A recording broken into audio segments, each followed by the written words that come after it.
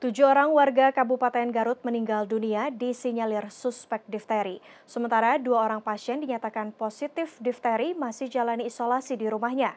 Pemerintah Kabupaten Garut menetapkan kejadian luar biasa atas munculnya penyakit difteri yang melanda warga desa.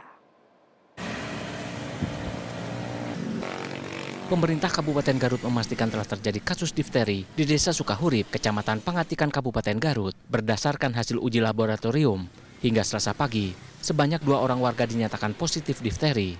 Meski kondisinya membaik, namun pasien tetap harus jalani isolasi mandiri di rumahnya.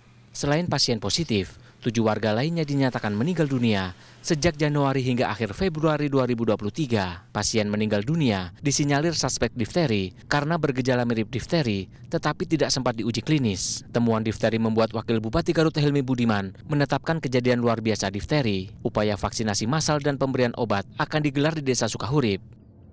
Kita kirimkan sampel dan ternyata memang ada yang positif.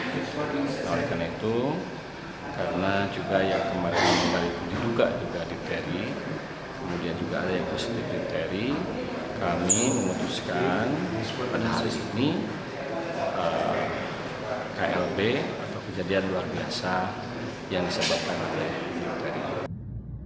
Berdasarkan data Dinas Kesehatan Garut, sebanyak 55 orang warga dinyatakan kontak erat dengan pasien difteri. Tiga orang pasien anak masih jalani perawatan di ruang isolasi RSUD Dr. Slamet. Ketiganya menunggu hasil uji laboratorium dengan gejala demam, nyeri tenggorokan, hingga sebagian sesak nafas. Deden Hadian, Garut.